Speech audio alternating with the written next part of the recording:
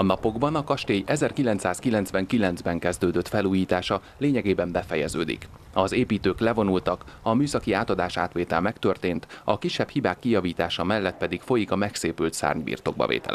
A főhajó mellett a regionális operatív program támogatásával megvalósuló projekt részeként a kastély körül mintegy 5000 négyzetméteren a park is megújult. Nagyon jó érzés, hogy hát annak ellenére, hogy sokan azt mondták nekünk, hogy őrültek vagyunk ebbe belevágni az elején, hát mégis sikerült erőfeszítéssel, kitartással és sok mindenkinek a segítségével ezt a nagyon szép eredményt elérnünk.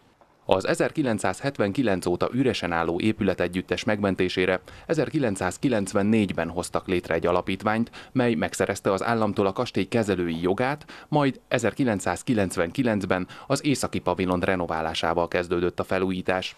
A Fehérvár csurgói kastély azért egyedülálló az országban, mert azok közé a kastélyok közé tartozik, melynek befejeződött a rekonstrukciója.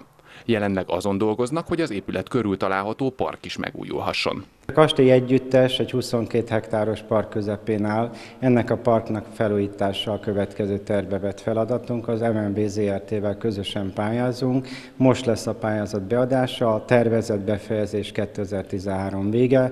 Ebben a munkában a tó helyreállítása és a vízutánpótlása megtörténik, és a teljes zöld felület rehabilitációja.